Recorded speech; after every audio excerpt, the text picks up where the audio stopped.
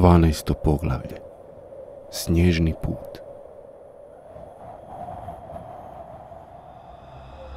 Hladnoća se uvlačila pod kožu.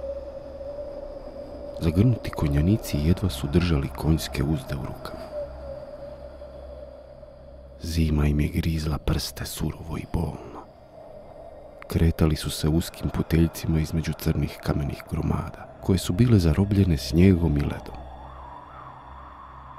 Kretali su se uskim puteljcima, između crnih kamenih gromada koje su bile zarobljene snijegom i ledom. Ovo je bilo visoko gorje koje se protezalo od vjetrovetih padina sve do maglenih planina pored srebrne rijeke. Najsuroviji dio Urahana, u kojem niti jedno pleme nije živjelo. Bile su rijetke životinje i biljke koje su mogle izdržavati ovakve uvjete za život. Osim snježnih leoparda i planinskih divokoza, te nekih manjih životinja. Ništa drugo nije se kretalo ovim pustim krajem. Od biljaka bijaše najraširenija trava, koja se skrivala ispod dubokog snijega. Bio je to nevjerojatno lijep krajolik. Vrh do vrha u nedogled. Vječni snijeg koji kao da nije mario za ostatak svijeta. Nikakav poremećaj u ravnoteži nije još došao u ove otporne krajeve. Bijele pahulje su se lijepile za lica konjanika i njihovih konja. Veron koji je jahao odmah iza Barbara potjera konja malo brže preko klizavih stijena na uskom putu. Došao je do Tuorona te ga upita. Prijatelju stari, jašemo već satima, a čini mi se kao da se nikada nećemo popiti na jedan od ovih vrhova. Znamo li mi uopće put? Znaš da nismo nikada ovdje bili ali nekako osjećam kako idemo dobrim putem. Ja nisam toliko uvjeren. Da odem pitati Runa, on bi trebao znati put. Istina, on je jedini koji je ovuda prolazio. Doćim šuti, to znači da smo na dobrom putu. Možda šuti zato što se smrznuo i jaše leden na svom konju. Otiđi i provjeri. U onom njegovom oklopu je zacijelo hladno kao u ostavi za hranu u našim podrumima. Ha, ha, ha. Imaš pravo. Koža mu je sigurno zalijepljena za oklop, ali iznutra je sigurno još vruć od onih ljutih žličarki koje je smazao za večeru. Dobro su se nasmijali. Više od muke nego što im je stvarno bilo smiješno. Veron sada okrene konja na drugu stranu. Prođe pored Noana koji ga je pogledao stisnutim sitnim očima. A zatim zastane pored noh Noja. Ovaj biješe za ugrnutu veliko debelu krznu. Pokriven sve do nosa. Nije mu bilo hladno jer je bio najbolje zaštićen od svih. Pogledao je vata te ga upita. Što si se uznemirio? Nemoj jednoga konja dodatno umarati. Reci što te zanima. Ha, samo ga grijem. Jadniku je zacijelo hladno kao i nama. Zanima me, jesmo li mi uopće na dobrome putu? Meni hladno nije. Pa pogledaj, Izgledam poput brdskog medvjeda sa ovim krznom oko sebe. Sve je u redu. Idemo dobro. Kako možeš biti siguran? Pa kada si zadnji put prošao ovuda? Jako davno. Istina, tada je bilo i manje snijega i leda. Sve izgleda dosta drugačije. Jer se i ovdje osjeća promjena u ravnoteži.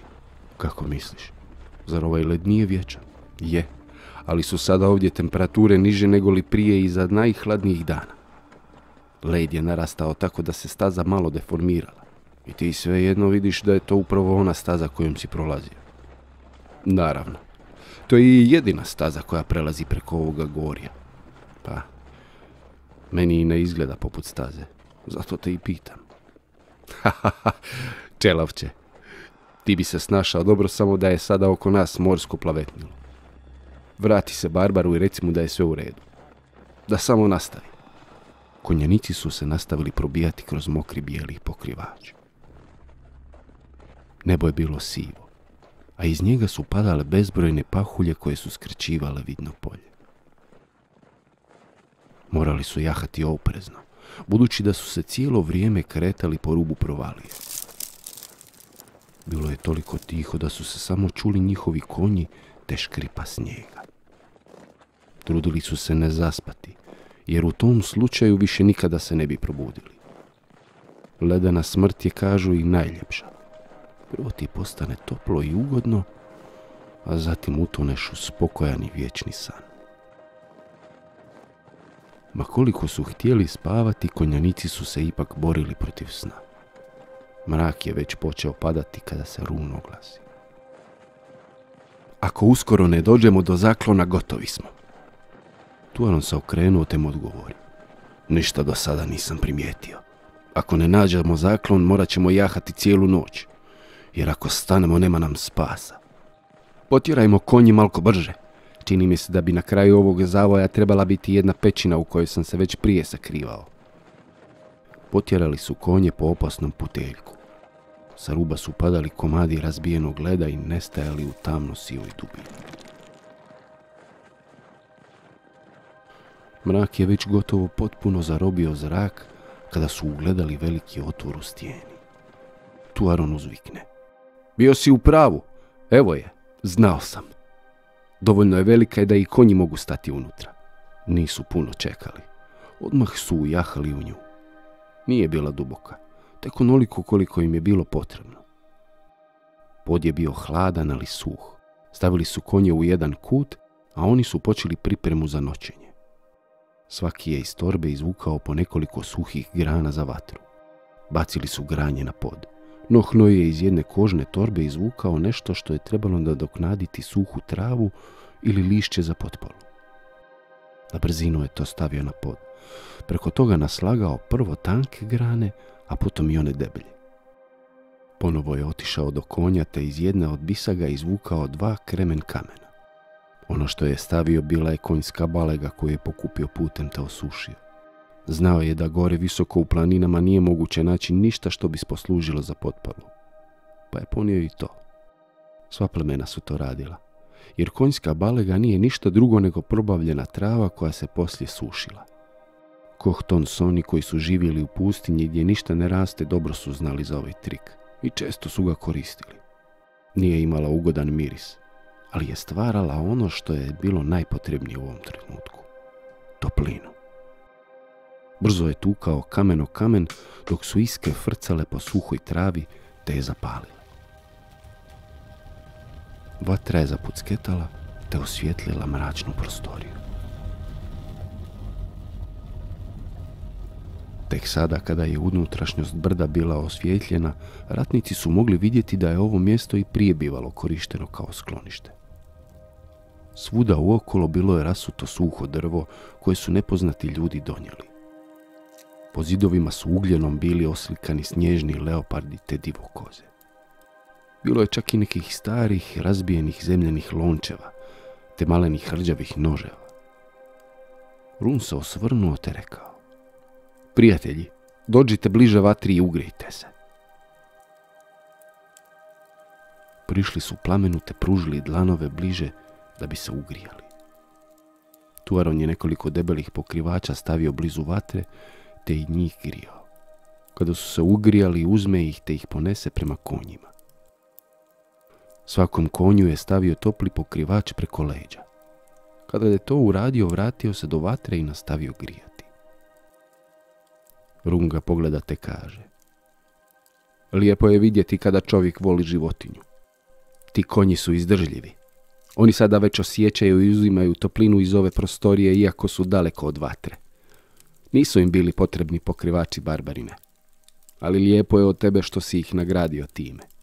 Znam, u si. Ali oni trpe kao i mi. Samo što nam to ne mogu reći. Po njihovom pogledu i klimanju glavom vidim da su mi zahvalni na tome. Dokazao si još jednom kolika je tvoja veličina. U ovakvim uvjetima ti stigneš misliti i na konje.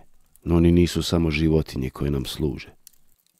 Ja na njih gledam kao na prijatelji bez kojih ne bi nigdje stigli. Kad god mogu, zahvalim im se. Veron ga je gledao obasjan crvenkastom svjetlošću. Plavičaste, prazne oči nisu skrivale zadovoljan izraz. Uskoro četvorka laganim snom u ugrijanoj prostoriji zaspi. Nije bila potreba za stražom, tako da su se mogli dobro naspavati sve do jutra. Pojeli su malo suhog mesa što su ga ponijeli sa inuinskih padina. Izvan špilje temperatura je i dalje padala. Kao što su to radile i krupne pahulje koje su se taložile pred ulazom. Tišina je zarobila cijelu planinu. Ratnici su spavali mirno u svojim krznenim pokrivačima. Tuaron je sjedio uz more i gledao kalebove kako se hrani. Brzo su letjeli gledajući kroz površinu kristalno čistog mora. Kada bi ugledali ribu, sunovratili bi se poput strijele u more te hvatali plijen. Barbar je sjedio na bijeloj stijeni ležerno naslonjen ruku bačenih iza vrata. Sunce ga je grijalo po brončanoj koži dok mu je blagi morski vjetar nosio kosu preko lica.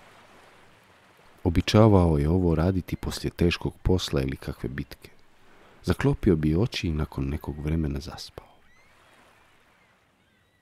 Ali sada je čuo lagano žensko pjevušenje koje je dopiralo iz daljine. Odmah je prepoznao glas te se nasmiješio.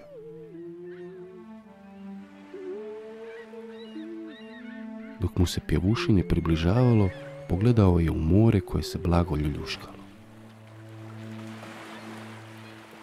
Galebovi su letjeli u mjestu na zračnoj struji. Veselo su se glasali i dan je bio prekrasan. Sjena padne preko Barbarove glave. Zaklonila je sunce, a pjesma utihne. On je podigao pogled i vidio svoju ribaricu kako nosi hranu u pletenoj košari. Kako li si samo lijepa. Ona se okrenula nekoliko puta oko svoje osi i kao da je plesala, a zatim nasmijena zastane. Bila je obučena u lagane bijele halje koje su bile sljepljene uz mokro tijelo. Kosa je bila svezana u rep koji je padao niz leđa. Gledala je u svojega muža toplo i nježno. Preko grudi i bedara su joj svjetlucale sitne kapljice znoja. Jesi li gladan, barbarine moj? Tuaron se nasmije onako kao što je mogao samo u svojim rijetkim trenucima, budući da barbarima to nije bilo u krvi. Uvijek misliš da sam gladan. Da te uvijek poslušam što se tiče jela, odavna bi imao trbuh poput onih volova što nam hodaju po selu. Pa ti jesi uvijek gladan, dragi moj. Istina. Ali nije uvijek u pitanju hrana.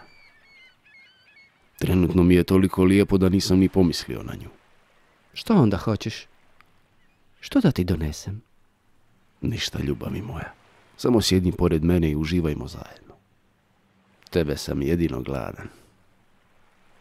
Dođi ovdje, ima dovoljno mjesta. Enola se spustila te kleknula na koljena. Pogladila po licu i poljubila ga u čelo. On je obujmi svojim teškim rukama te prisloni uza se. Snažno je stisne te poljubi njezine pune usne. Ostali su tako nekoliko trenutaka, a potom legli jedno pored drugog gledajući u nebo. Hmm, kako li je samo dobro ovdje. Kada bi se ponovo rađala, stalno bi željela biti s tobom. Barbar se podigne, pogleda u svoju dragu koja je izgledala zamamno. Stane na noge te uhvati ženu za ruku. Povukao joj je i prislonio u svoje grudi. Ona podigne glavu te ga ponovno poljubi. Barbar joj sa kaži prstom povuče crtu od čela preko nosa te zaustavi na donji usnici.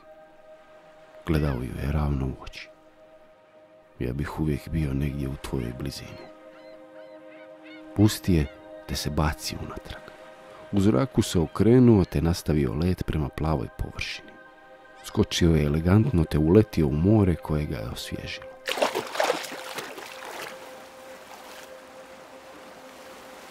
Kada je izronio, pogledao je na stijenu tražeći je novu. Nije bilo. Osvrtao se oko sebe kad nježna ruka ga dotakne za nogu te povuče ispod površine. Zaronio je i vidio svoju ženu golu kako lebdi u vodi ispred njega. Kosa joj se raspustila i bestežinsko uvijala oko lijepe glave. Tijelo je bilo tako lijepo da je barbar progutao pljuvačku te se odmah svukao. Uhvatili su se i izronili. Disali su na nos jer su im usta bila zaokupljena nekim drugim stvarima. More ih je milovalo dok su im se galebovi klaukanjem rugali.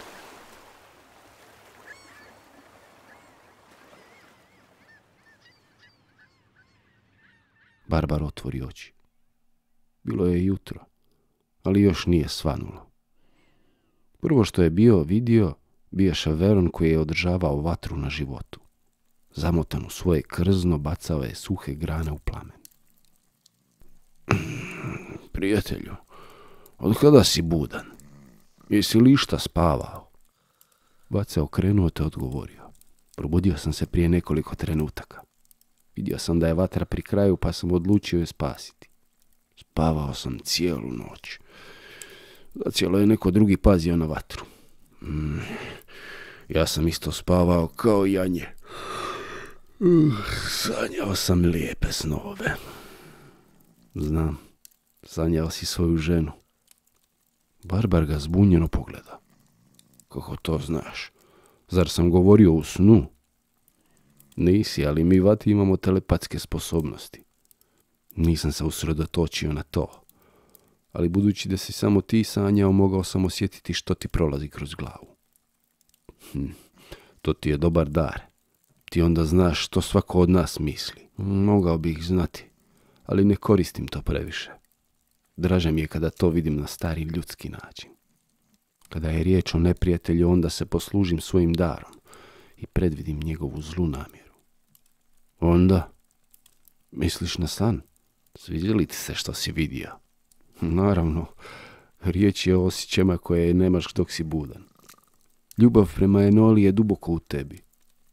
Zakopana i potisnuta. Onog dana kada nas je napustila, ti si te osjećaje pohranio u sebi. Lijepo je vidjeti da još postoje. To je jedino čega se sjećam iz daleke prošlosti. Istina, sve je mutno. To čak i nije iz ovoga svijeta. Kako to misliš? Razmisli malo. Čega se sjećaš prije nego što si došao do kora? Hm. Gotovo ničega. Samo neke lijepe žene sa kojom sam razgovarao. Mislim da je to bio Bog. Prije toga još Enole. Te tebe na trenutke. Ja se isto sjećam razgovora sa lijepom ženom. I još nekih stvari koje smo preživjeli skupa. Ali ne puno toga. To što imam u glavi je dosta različito od ovoga sada. Ljudi su bili drugačiji. A ja sam imao normalne oči. Što više vremena prolazi, ja sve manje i manje sjećam prošlosti. Kao da bljedi. Sa mnom je ista stvar. Kada sam tek došao ovdje, sjećao sam se više stvari. Mislio sam da sam izgubio pamćenje, te da će mi se vratiti sa vremenom, ali nije stvar u gubitku pamćenja. Što je onda? Što nam se to dogodilo? Još uvijek ne znam, ali vidjet ćemo što nam budućnost donosi. Sve ovo zbunjuje, ali sada imamo i važnijih stvari o kojima moramo razmišljati, zar ne? Tako je. Pogledaj, novi dan dolazi. Svi će. Ajde, probudi ostale. Pogledali su kroz otvor te vidjeli kako se smrznuta zora budi. Sunčeva svjetlost nije bila toplih boja. Budući da se probijala kroz guste oblake, bivala je plavičasta i svjetlucala. Probudili su uspavane ratnike. Run se malo nečkao sa ustajanjem, dok je Inu In samo otvorio oči te skoknuo na noge. Uskoro su sva četvorica sjedili oko vatre te jeli suho meso za doručak. Barbar je upitao Nohnoja. Što misliš? Koliko još imamo do vrha? Bude li sve u redu, prije mraka smo gore. Ovaj dio je još malo teži. Staza je uža i strmija. Moramo dobro otvoriti oči i pripaziti na konje. Dobro, onda nećemo jahati. Hodat ćemo te voditi konje putem. Još nije potrebno, ali za nekoliko sati samo na taj način popećemo se na vrh. Inuin je ustao, odvojio se od ratnika te stao sam uz ulaz pećinje gledajući van. Danas nema ni daška vjetra. Biće nam toplije. Veren koji je žvakao žilavi komad mesa odgovori. Sigurno ti je krivo zbog toga. Hm? Ne brini, na ovim visinama uvijek puše. Sigurno će tekom dana zapuhati još da možeš poletjeti. Vjeruj mi, u ovom slučaju bih volio da ne zapuše. Od ovog vjetra mi se krv u žilama ledi. A kakve koristi od letenja kada mi konj to ne može? Hm. Tako je. Dođi sada ovdje i pojedi svoju hranu i ugri se još malo. Skoro ćemo ponovno na hladnoću. Nakon jela društvo se spremilo za putovanje. Ponovo su pokupili nešto drveća te stavili u svoje bisage. Toplo su se obukli te poveli konje do ulaza. Turon je zastao na ulazu te zaustavio kolonu iza sebe. Pogledajte, u ovim krajevima nikada nema dobrog vremena. Nemamo izbora nego moramo nastaviti put pod svaku cijenu. Izašli su iz toplog skloništa.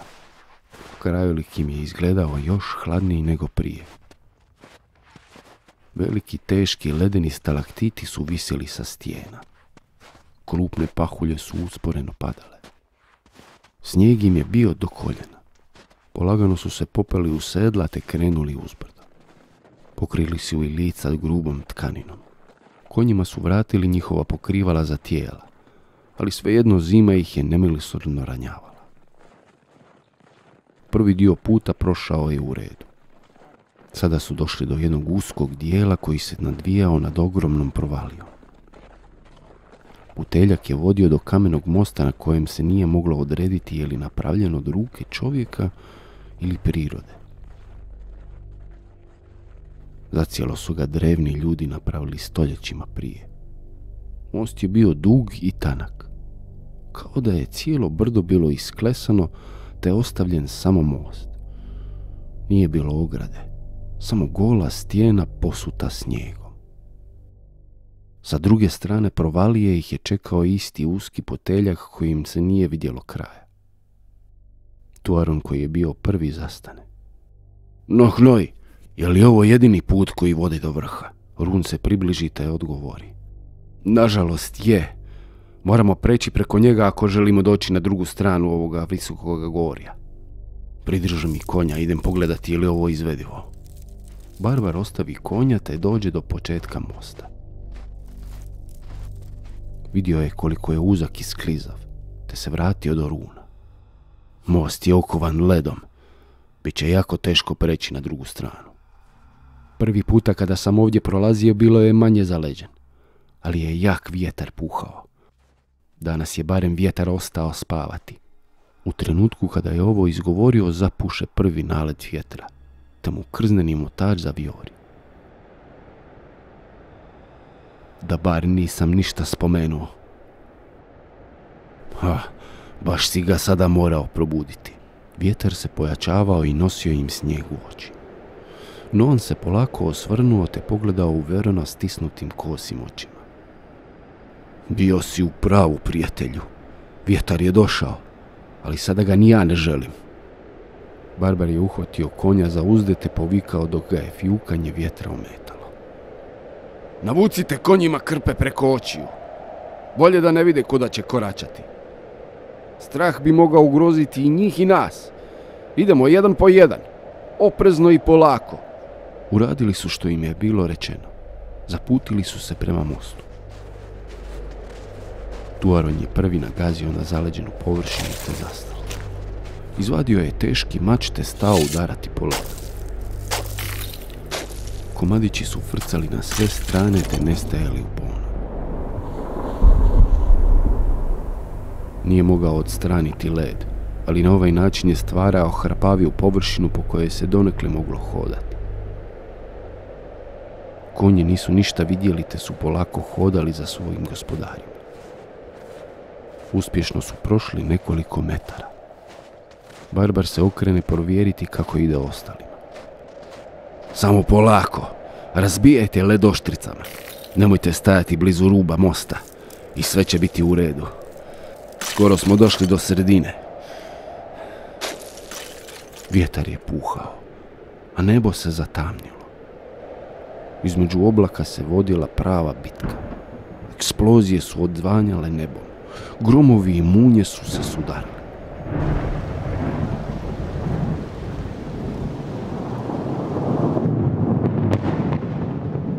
prešao pola mosta, te polako išao prema napred. Veronov konj je bio jako nemiran, da rzao i cupkao na mjestu. On je bio zadnji u koloni. Gromovi su i dalje odzvanjali kanjonima. Konj se počeo propinjati na zadnje noge. Veron se borio sa njim povlačići ga za uzde. Miran, miran budi, još samo malo. O, Ostatak grupe prešao je na drugu stranu, te su se okrenuli i vidjeli užasan prizor. Vat se očajnički borio sa preplašenim konjem. Noge su mu klizile prema rubu. Turan to nije mogao gledati, te se zatrčao preko mosta pomoći prijatelju. U tom trenutku konj se otrgne iz Veranove ruke te slijepo jurne u Barborovom smjeru. Vat je izgubio ravnotežu te padne unatrag. Zadnjim refleksom je povukao nož, te ga zabode u led na rubu mosta. Ostao je visjeti nad provalijom.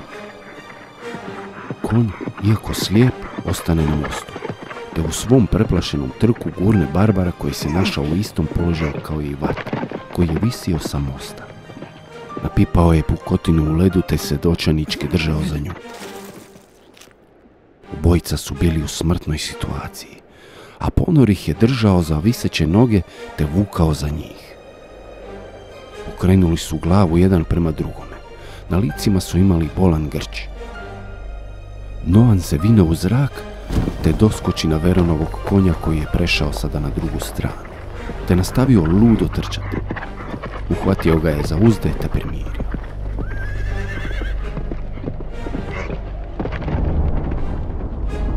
Noh nije gubio ni trenutka. Zaletio se preko mosta te izvukao mač iz korice. Došao je pored Tuarona koji se jedva držao za pukotinu. Led mu je jeo prste kojima se držao. Podigao je mač iznad glave te ga svom snagom zabio u led. Cijela oštrica prođe kroz tu tvrdu podlogu, te se sudari sa kamenom koji je bio duboko ispod. Mač je bio čvrsto zabodan. Oko držala koje je virilo izvan leda zamotao je konop, čiji kraj baci prema Barbaru. Uhvati se za to, prijatelju. Sada idem do vata. Odjurio je prema Veronu kojemu je nož lagano popuštao iz leda. U trenutku kada je Veron propadao nije imao ništa drugo napraviti nego se baciti na prsa te uhvatiti ga za ruku. Drži se vode na glavo! Vat ga je čvrsto držao za ruku, ali sada su obojica lagano klizili prema provaliji. Na drugome kraju Barbar se još nije uspeo do kraja. Runga je gledao te pokušavao uhvatiti bilo što na kliskoj površini.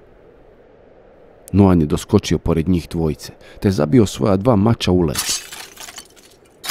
Uhvatio je runa za pojas te se oslonio nogama na zabijene mačeve. Vat se uzverao preko noh Nojevog tijela te došao na sigurno. Sada su zajedno povukli teškog runa k sebi. Odmah su pogledali prema Barbaru. Vidjeli su ga kako leži po trbuške i promatra ih. Ostali su nekoliko trenutaka na istome mjestu i dolazili k sebi. Konji su se skupili pod jedne stijene te se smirili. Vratnici su se podigli te lagano propješačili most. Došli su do konja te se pogledali međusobno. Barbar prvi progovori. Hvala, prijatelji. Spasili ste mi život. Veron ih je sve zagrlio te rekao. Ugrozili ste sebe da bi meni pomogli. Hvala vam. Znajte da bih ja uradio isto za vas u svakoj situaciji. Run se nasmija te doda. u to ne sumnjam, ali znam da bi mi podmetnuo one odvratne kisele žličarke. Kao što je to uradio ovaj lagani vrag. Svi su se nasmijali prisjećajući se slasne večere u Imovinskom gradu. Noan koji je u biti došao u najvrijednijem trenutku te izvukao njih dvojicu na sigurno sada progovori. Da ti nisam to podvalio, tko zna što bi sve pojeo na onoj večeri. Sigurno bi bio mnogo teži nego sada i tko zna bi li moje lagane ruke mogle podnijeti takvu težinu. Ponovo su se nasmijali iz sveg glasa, te se zagrlili. Turan se uozbiljio odjedan Prijatelji, upravo smo dokazali kako naša plemena mogu živjeti u miru. te se mogu međusobno pomagati. Zato se vrijedi boriti. Okrenuli su se prema konjima te ih primili za uzde. Skinuli su im poveze što su im prekrivali oči. Idemo, do vrha nam je ostalo samo malo. Vrijeme se nije smirivalo. Uskom strminom su napredovali sporo, ali sigurno. Posljedku su se dokopali vrha. Bio je zarobljen u guste oblake, a četvorka nije ni mogla vidjeti ništa oko sebe. Ali Run je znao put, te se uputio njim. Najgore je sada iza nas. Sada imamo blagi spust u zaklonjenom dijelu. Možemo hodati i po mraku jedan dio prije nego li naiđemo na zaklon. Što su se više spuštali, vjetar je slabio, a oblaci su postajali rijeđi. A oblake je zamijenio mrak, te su bili prisiljeni stati te naći nekakav zaklon. Nije puno vremena prošlo kada su stali ispod jedne stijene koja se nadvila nad njih čineći prirodni krov. Snijeg više nije padao po njima pa su ponovno zapalili vatru te se počeli grijati. Znali su da će sutra doći do mjesta gdje je sakriveno sveto kamenje. Čekala ih je opasna akcija, a možda i strašna bitka. Dobro su se najeli te pošli na počinak. Odmor im je uistinu bio neophodan.